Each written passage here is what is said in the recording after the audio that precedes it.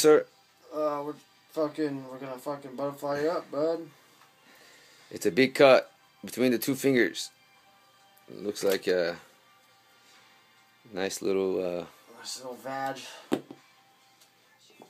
that's a huge cut, dude. I'm looking at. Yeah, it is. Fuck.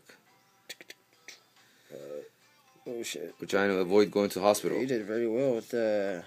Uh, The fuck were you doing over there, dude?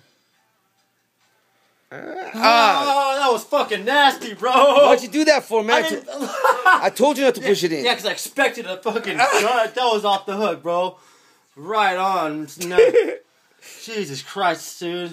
Why you push it like that, dude? Homie, that was fucking crazy, bro. You got some serious shit going on over there, bud. Dude, I gotta get the fucking thing on, bro. Your fucking hand is